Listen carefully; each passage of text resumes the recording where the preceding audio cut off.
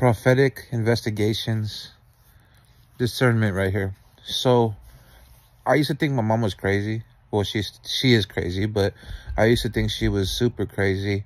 Always crying about her first love and her first her first boyfriend or whatever. First love, right? But throughout my whole life, years and years down the road, years and years, 15, 20 years down the road, still crying about her first love or talking about her first love. But now I realize we're a prophetic bloodline. The first person we're with or our first love, we're meant to really stay with. We're not meant to sleep around with people. Um, we do though, and we break up in the generation that has no loyalty, no truth, no communication, things of that nature.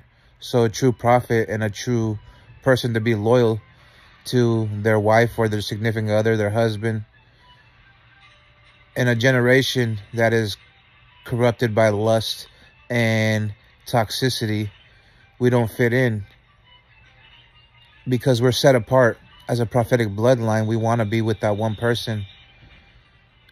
And the prophets who lay down, they want to be with that person and they love harder, they love deeper, and they're more loyal, right?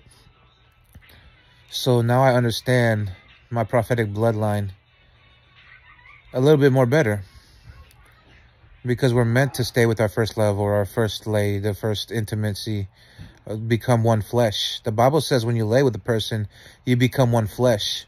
So that first person we lay with, we want to be with one flesh. The first person we fall in love with, our soul connects to. You know what I mean? That is just the nature of a real prophet because we're spiritual first, physical second.